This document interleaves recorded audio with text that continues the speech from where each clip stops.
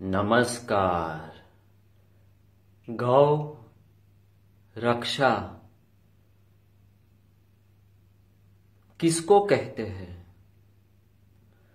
जब गाय दूध देती है,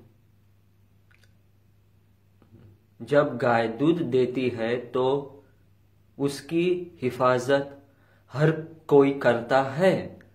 मगर जब गाय दूध नहीं देती, जब गाय दूध नहीं देती, उसके बाद जो उसकी हिफाजत में रहता है, उसको गौ रक्षक कहते हैं।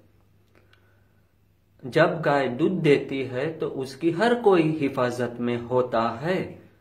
मगर जब गाय दूध नहीं देती, उसके बाद में जो उसकी हिफाजत में रहता है उसको असली गौ रक्षक कहते हैं।